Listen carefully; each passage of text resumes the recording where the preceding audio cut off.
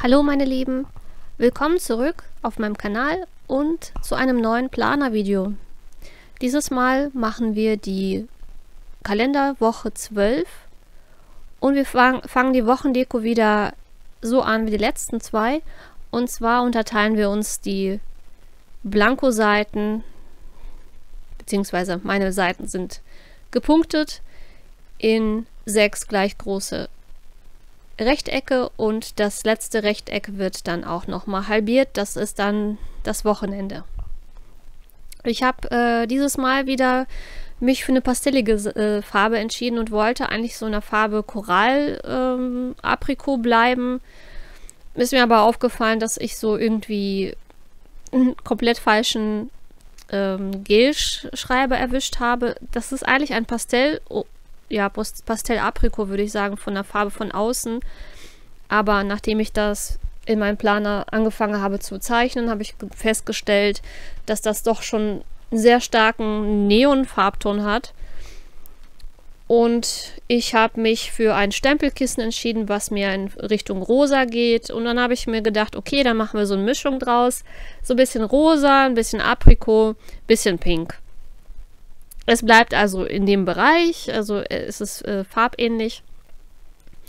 Und teilweise muss ich auch sagen, es ist auch gar nicht so einfach gewesen, das Ganze aufzuzeichnen, weil äh, das Rosa ist doch relativ hell. Auch jetzt ähm, der Gelschreiber, zumindest im Video, sieht das relativ hell aus.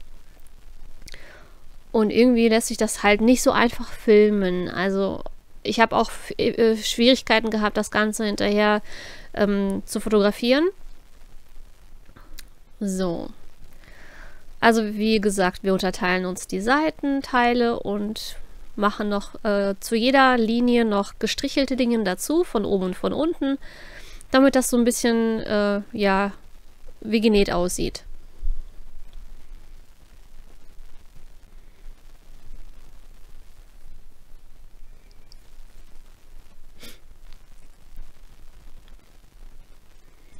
Dieses Mal habe ich wieder ein äh, Stempelset von Stempelglede mir rausgesucht.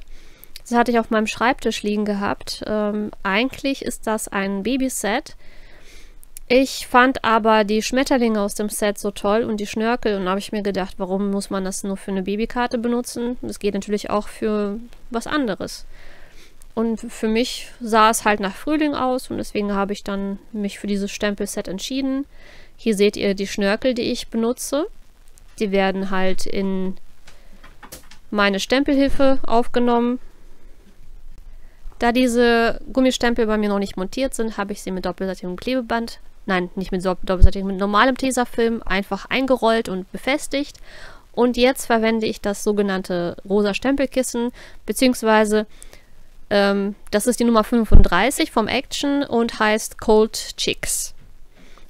Da der Ton sehr hell ist, habe ich das auch jetzt mehrmals gestempelt, damit man das halbwegs erkennen kann. Also, ich meine, im Original sieht man das schon recht gut, dass es rosa ist, aber wie gesagt, jetzt hier im Video und auch schon beim Drehen ist mir das aufgefallen, dass das gar nicht so leicht ist, äh, das wahrzunehmen.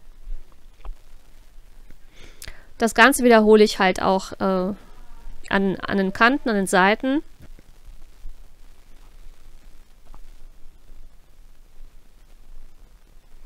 Da ist hier natürlich die Stempelhilfe von großem Vorteil, dass man das halt auch mehrmals einfärben kann.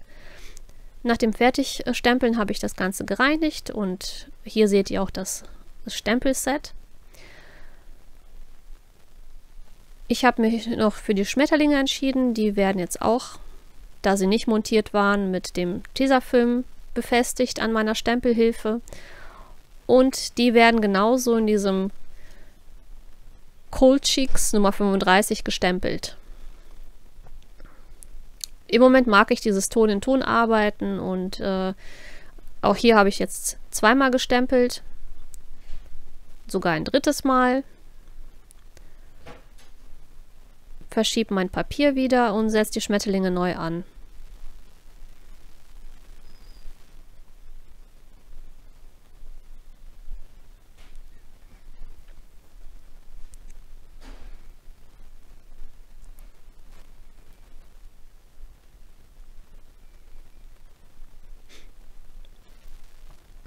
Und das ist ja auch etwas, äh, was ihr mit jedem Stempelkissen machen könnt. Habt ihr einen zu krassen Farbton, dann könnt ihr das einmal auf ein Schmierpapier abstempeln und das, den zweiten Abdruck dann verwenden. Habt ihr einen sehr hellen Ton wie in dem Fall, dann könnt ihr das halt so oft wiederholen, bis die Farbe euch intensiv genug vorkommt. Wie ihr seht, bei den Schmetterlingen habe ich sogar dreimal das Ganze wiederholen müssen, damit man das vernünftig erkennt. Nach dem Fertigstempeln wieder sauber machen, das Ganze abmontieren hier habe ich mir die, die Soppelseiten äh, oder beide Seiten auf meine magnetische Platte montiert und verwende das gleiche Stempelkissen und einen Blending Brush, um ein bisschen Farbe einzuarbeiten, damit die Seiten halt nicht so stark weiß bleiben, beziehungsweise es ist kein richtiges Weiß. Meine Seiten sind so ein bisschen, ähm, ja, ich würde sagen, so ein dreckiges Weiß.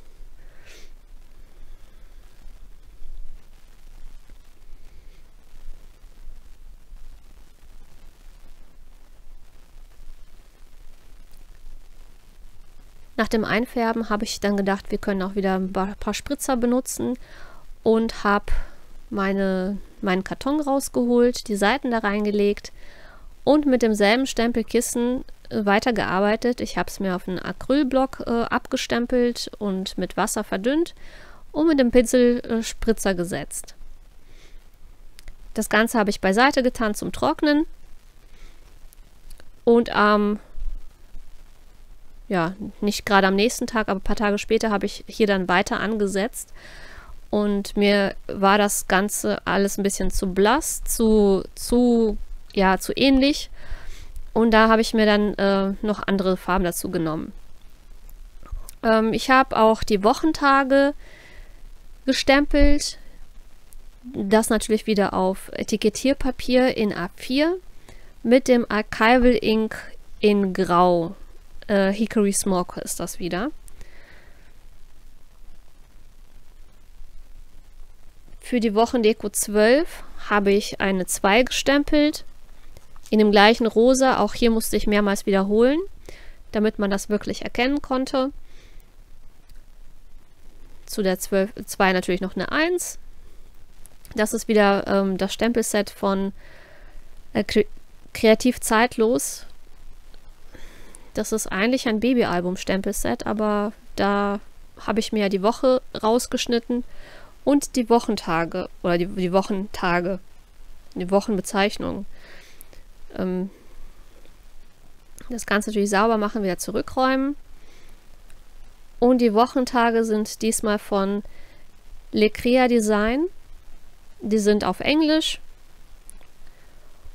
und die habe ich, äh, wie hier im Video zu sehen, einfach direkt alle übereinander montiert, mit dem Hickory Smoke gestempelt.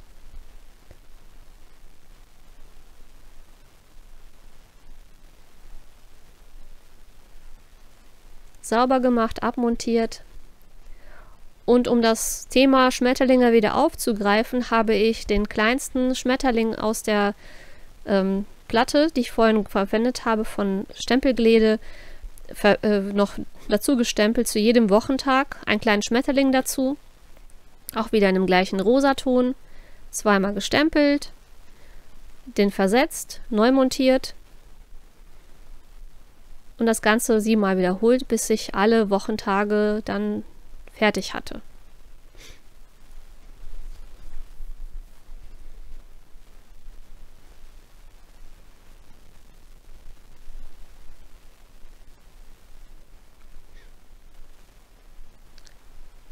Selbst hier könnt ihr sehen, dieser Teserstreifen wird immer wieder verwendet und neu angesetzt und solange der hält, ist das auch gar kein Problem.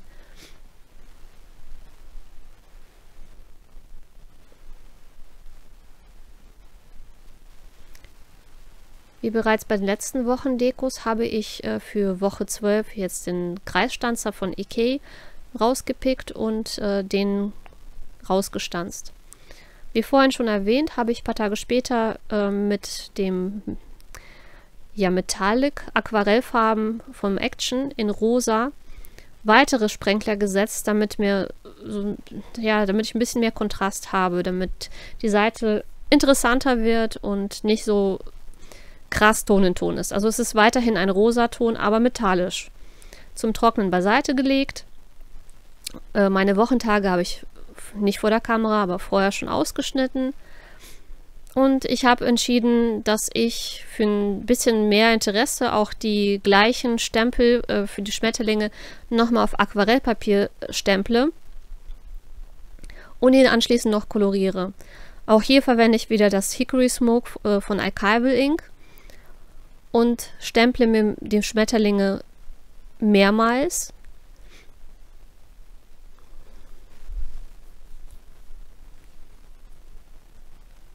Hier verwende ich wieder mein Lieblingsaquarellpapier von Gerstecker und das ist auch wieder ein Reststück. Also ich, ich benutze das schon seit Jahren und äh, immer wenn ich was Größeres geschnitten habe, hatte ich meistens bei den großen A3-Bögen auch immer große Streifen Verschnitt.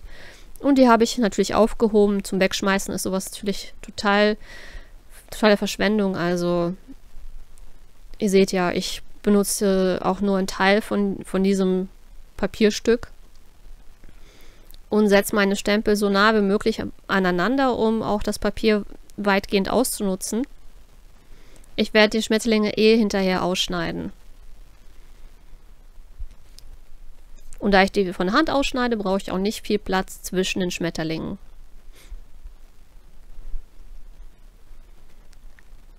Die mal wieder sauber machen und abmontieren.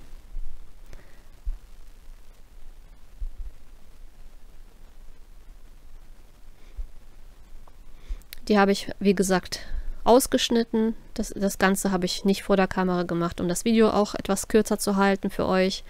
Und äh, ich habe mir wieder meine Distress Reinka Palette rausgekramt und habe dann die Schmetterlinge in einem zarten Rosa und mit einem hellen Pinkton dann koloriert. Für die ähm, Körper der Schmetterlinge habe ich einen Braunton benutzt. Hier ist das auch keine große Kunst. Also ich habe ähm, hier wirklich nicht viel mit Schichten und äh, Schattierung gearbeitet. Ich habe tatsächlich nur mit einem zarten Rosa angefangen, die Schmetterlinge alle erstmal ein bisschen angemalt und das Ganze noch ein bisschen verstärkt durch den Pinkton. Also das war jetzt wirklich nicht aufwendig. Ich wollte auch relativ zügig mit der äh, Wochendeko fertig werden. Es ist immer so nach Lust und Laune. Manchmal hat man mehr Lust äh, zu kolorieren, manchmal hat man weniger. Und wie man sieht, also man braucht, braucht da kein großer Künstler sein. Das ist äh, mit wenigen Handgriffen ist das auch ähm, hinzubekommen. Also und bei Schmetterlingen, äh, es gibt Schmetterlinge in verschiedensten Farben. Da könnt ihr eigentlich eure Fantasie freien Lauf lassen. Ich weiß zwar nicht, ob es äh, pinke und rosafarbene Schmetterlinge gibt, aber bei mir sind das Fantasieschmetterlinge. Es funktioniert. Hier ist der Pinkton, den ich erwähnt habe. Den versuche ich halt in das helle Rosa einzublenden.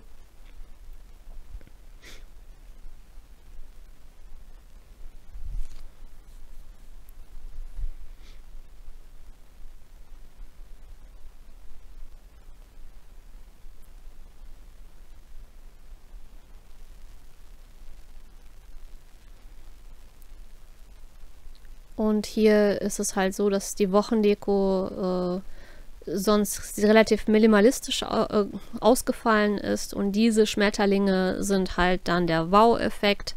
Ich hätte die auch auf Stickerpapier stempeln können und die dann ausschneiden können. Die wären halt dann etwas durchsichtiger. Ich äh, habe halt in den letzten Wochen festgestellt, dass ich dann eigentlich das gut, ganz gut finde, wenn ich das auf Aquarellpapier stemple, weil das Kolorieren auf Aquarellpapier ist einfach anders und für mich äh, fällt es halt einfach leichter, darauf zu kolorieren. Das Etikettierpapier ist relativ dünn und wenn man halt da mit sehr viel Wasser dran geht, dann äh, ja, wälzt sich das Papier und manchmal verwischt auch was und es sieht halt ja, es kann halt nicht so viel Wasser aufnehmen. Es ist, es ist anders. Es funktioniert, man kann es durchaus ausprobieren, aber ich finde, bessere Ergebnisse bekommt man halt wirklich mit Aquarellpapier.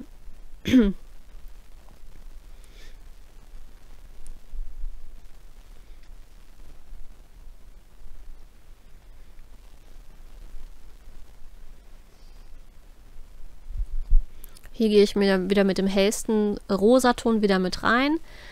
Ähm, und versuche das halt alles so ein bisschen mit dem Pink zu verblenden.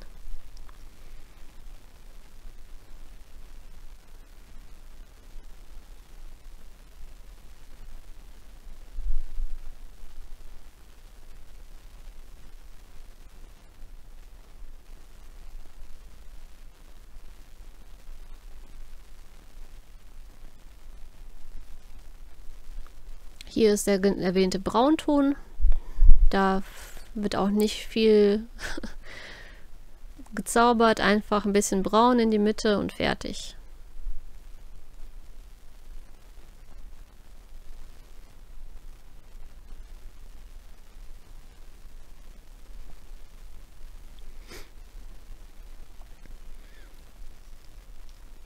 Dann habe ich angefangen, meine Wochentage so ein bisschen vorzubereiten und aufzukleben. Da muss man eigentlich auch nur die Trägerfolie abziehen. Es sind ja tatsächlich äh, selbstklebende Etikettierfolien. Das heißt, ihr habt Papier und unten drunter habt ihr eine klebende Seite. Müsst ihr nur die Trägerfolie abziehen und könnt dann direkt aufkleben. Diesmal habe ich dann tatsächlich mit den Wochentagen zuerst angefangen, habe die positioniert und die Schmetterlinge anschließend da verteilt, wo ich denke, dass sie dann am besten zur Geltung kommen. Meine erste Absicht war eigentlich, diese Schmetterlinge, die hinter den äh, Wörtern oder hinter den Wochentagen gestempelt sind, als Füller für die Wochentage zu nehmen. Aber irgendwie fand ich die dann zu filigran, zu schön, um da noch drüber zu schreiben. Also habe ich dann die Zahlen auch daneben gesetzt. Also die habe ich dann handschriftlich ausgefüllt. Da wollte ich die Schmetterlinge tatsächlich so belassen, wie sie sind.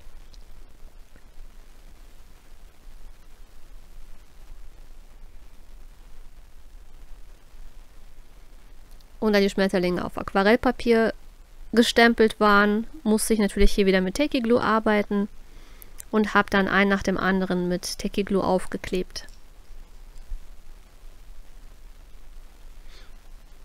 Ich habe auch versucht, die gestempelten Schmetterlinge nicht zu sehr zu überkleben, dass man von dem Hintergrund auch noch einiges erkennt. Hier habe ich einen Schmetterling nur zum Teil aufgeklebt und den abgeschnittenen Flügel habe ich dann auf die andere Seite gesetzt. Zum Wegschmeißen waren das dann auch zu schade und so kann man das ganz gut miteinander integrieren. Und nachdem die großen Schmetterlinge Platz gefunden haben, habe ich mich dann mit den kleineren weiter vorgearbeitet.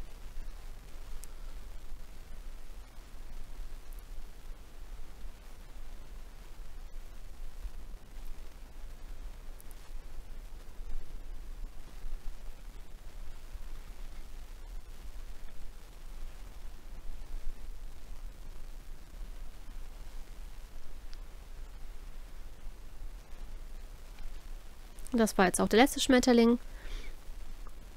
Jetzt muss noch die... Da war ein Schmetterling, ein Sticker zumindest, äh, zu sehr in ein Loch oder hat ein Loch verdeckt und dann habe ich jetzt dieses Loch freigelegt mit der Crocodile. Das ist meine Lochstanze, die ich verwende. Jetzt noch die Seiten in meinen Planer wieder reinsetzen und die Wochentage eintragen. Das ist die Woche 21. bis 27. März. Und wie gesagt, habe ich die Wochentage einfach daneben geschrieben. Oder darunter, je nachdem, wo Platz war.